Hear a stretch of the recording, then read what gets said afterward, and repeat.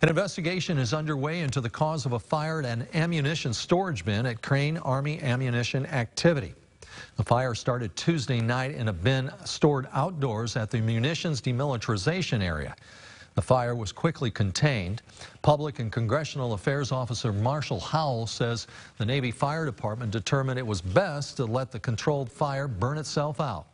Workers were able to safely evacuate the area, and officials say there was no danger to the community.